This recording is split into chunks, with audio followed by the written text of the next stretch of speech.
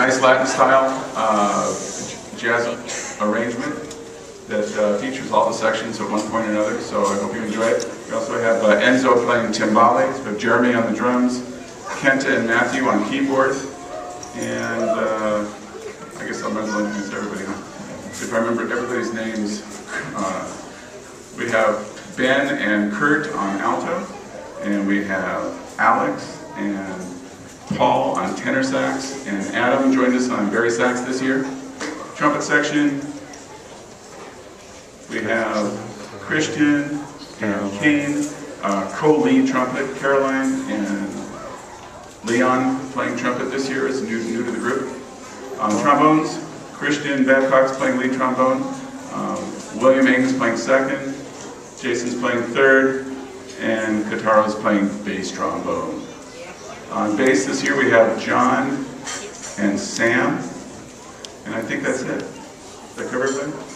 All right, here we go. Caribbean Dance, thanks for coming tonight, and uh, hope you enjoy.